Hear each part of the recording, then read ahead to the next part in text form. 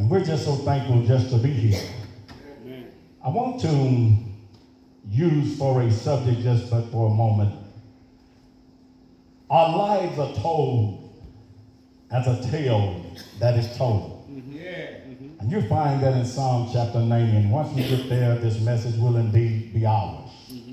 We're so thankful to God that we're here.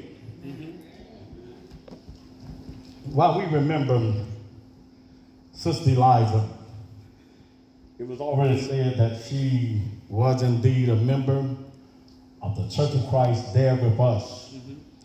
And we enjoyed worshiping and serving our great God together. Amen. Amen. And when we talk about missing her, uh, we're not missing her, we're missing her already. All right. Mike. The family is missing her, the friends of Eliza, you're missing her. Uh, the church at Union Street, we certainly miss her. Amen. When Jesus he spoke concerning John the Baptist, when you read St. Matthew chapter 11, he said that Jesus he spoke concerning John. And he said, Of men that are born of women, there have never risen a greater than John the Baptist. All right. All right. But he that is least in the kingdom of God is greater than John. All right. I think about Sister Eliza. She was least in the kingdom. All right. Sometimes you think about yourself. Sister Eliza, she was everything to everybody. Uh-huh. And whatever she was to you, then certainly you knew her. We think about her children. She was your mother. All right. She was your loving mother. And she loved you. When we think about all the things that life has to offer, open that door, Dorsey. When you think about her mother, Sister Isella Green, that was Toad's mother. Uh-huh. Isella is Toad's mother. And certainly she has so much love in her heart for her daughter that is now gone. Right. Think about Sister Vicky Lane. That was her, let me get another mic. That was her sister.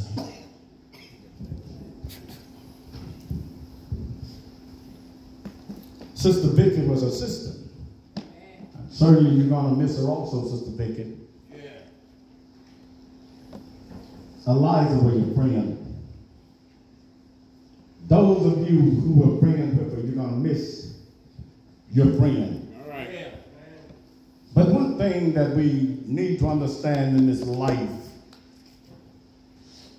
is that sometimes, as the old saying is now, that people often say that uh, she was my BFF, uh, your best female friend. All right. Sometimes you think about the best friends forever. Whatever Elijah was to you, All right. then she was your friend. Sometimes we think about Eliza. She had the perfect sometimes smile. And someone said it earlier, and I said, boy, she's taking part of what I wanted to say. She would chew her gum, and she had one of the most beautiful smiles, and it would just light up any room. This is the kind of person that we knew in the sister Eliza. But in Psalm chapter 90, we live our lives as a tale that is told. Yeah. Yeah. You know, while we are in this life and we think about time, death is not the end.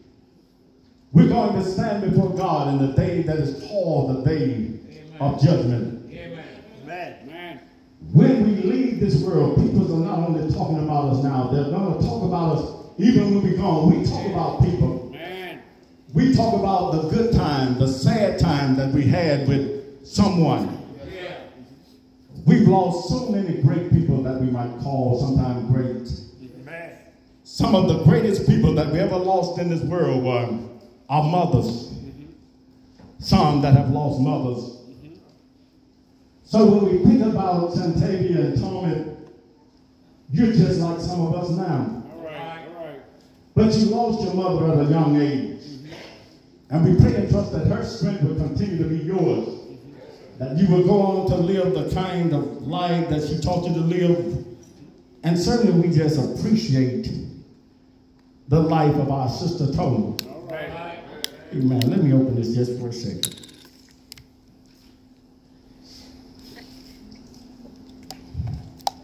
We appreciate her. So all of these heroes our day, they may have been your mother, your father, they are your mothers, they are your fathers. Mm-hmm. But some of them, their voices is no longer heard upon this earth. Their footsteps are now numbered and accounted with others that are dead. Amen. And we should not think at any time that we're ever exempt because one day we're going to die. All right. All right. One day we're going to leave this world. Hebrews 9 27. The Bible tells us, and as it is appointed unto man once to die, mm-hmm. then after death comes the judgment. Man. We find ourselves living down here in this life, but one day this life is going to be over for us. You know, you think about all of these things, and you think about dying. God, He already knows how we're going to leave this world. And however we leave, that was the appointment, and that was the appointed time that God had set in His will for us. All right. All right. Just because we're Christians, just because we're saints down here, it don't mean that we're going to have it easy. Uh-huh. You read St. Matthew chapter 5. Jesus, he talks about that, that he sends his rain upon the just as well as the unjust. He let his sun to shine upon the righteous and the unrighteous. All right. All right. So everything that befalls sometimes sinners, it happened to Christians too. Man. Right. We're not exempt. Man. These things, they will happen, but our lives are told All right. as a tale that is told. In Psalm chapter 90, and this message will indeed be yours. I, Lord, mm-hmm. thou hast been our dwelling place in all generations. Yes. Yes. Before the mountains were brought forth, for even thou hadst formed the earth and in the world. All right. Even from everlasting to everlasting, thou art God. All right.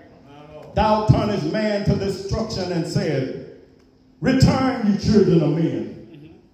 For a thousand years in thy sight are as but as yesterday All right. when it is past. And as I watch in the night, thou carriest them away as with a flood. They are asleep in the morning. They are like grass which groweth up.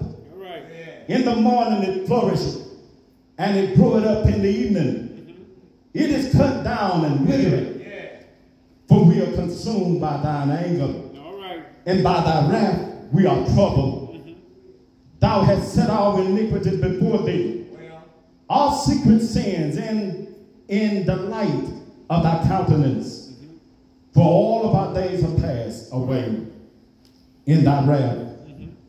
We spend our years as a tale that is told. All. The days of our years is three score years and ten. Yes. And the Bible tells us, even by chance, if there come more years upon us, it is the gift of God. All right. But one day he said, Yes. we're going to fly away. Oh, All right. So we can't get too comfortable down here, as we might say. Because one day life is going to end for us. Amen. Therefore, we must be right with our God. Mm-hmm. Well. There are going to be trials and tribulations and temptations of every day. Mm-hmm. We haven't gathered our spiritual wings just yet. We haven't made it to glory just yet. So we can't start pointing fingers at others. We're to try and strive to keep ourselves right with God. But there are times when people don't know what to do in order that they might be saved. They've been told all kinds of things. Some have been told, uh, just put your hand on the television and pray the sinner's prayer. Some have been told just send for the prayer cloth and you know and all of your answers to all of your problems is going to be right there and you just follow the direction on the prayer cloth. This ain't all kinds of things. But what has God said? In order to be a Christian, one must hear the word of God. Romans 10 17. So then faith come by hearing, hearing come by the word of God. After hearing his word, you must believe it. Hebrews 11 and 6. The Bible tells us, but without faith, it is impossible to please God. He that's coming to God must believe that he is, and he's a rewarder of them that diligently or carefully seek him. We must then repent of our sin. You say, what is repenting? Repenting is giving up whatever is stopping us from being right with God. Luke 13, 3 and 5, the Lord said, I tell you no, but except you repent, you shall all likewise perish. We must then confess with our mouth that Jesus Christ is God's Son. Matthew 10, 31, 32, and 33, the Lord said, Whosoever therefore shall confess me before men, I'll confess him, I'll confess her before my Father which is in heaven. But whosoever shall deny me before men, I'll deny him, I'll deny her before my Father which is in heaven. We must then be baptized in water to have our sins washed away. Acts 2.38, repent and be baptized, every one of you, in the name of Jesus Christ for the forgiveness of sin, and you shall receive the gift of the Holy Spirit. God has promised us eternal life. We must continue to be faithful unto death. John 8, 31, 32, Jesus said to those Jews that believed on him, If you continue in my word, then are you my disciples indeed. You shall know the truth, and the truth shall make you free. Revelation 2 and 10, I'll give you a crown of life that fadeth not away. This is God's promise to all of us. If you're not a Christian, you need to be. You need to be baptized in water that your sins will be forgiven you and serve the Lord before life and time pass us by. Because one day we're all going to die. Our lives is told as a tale that is told. Let us hold hands in a word of prayer. Most holy and eternal God in heaven, we come to you at this time. We come to give thanks for your word. We come to give thanks for the family and the friends and others that are here. Dear Lord, we're so thankful that you have given us Sister Eliza, that she lived her life down here, that we got to know her, knowing that one day we shall die. For it is your appointed time. Dear Lord, we pray for her children. We pray and trust that you will continue to strengthen them and to keep them and to guide them in their young lives. We pray for their father. We pray and trust that he will be strong in the lives of his children.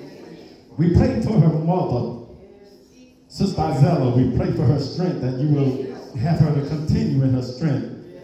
She will be surrounded by those who love her, that will yet comfort her in a time such as this. We pray for Sister Vicky. We pray and trust that you will continue to guide her life, that it will shine down here as a light, that men that are lost can see your son in all of us before life and time pass us by. When our lives have come to an end, we want to hear you saying, Well done, thou good and thou faithful servant. I've been faithful over a few things, come. I'll make you rule a minute. This is the prayer that we pray, the thanks that we give. We ask it all in your son, Jesus' name. Amen. Amen. Undertakers may come.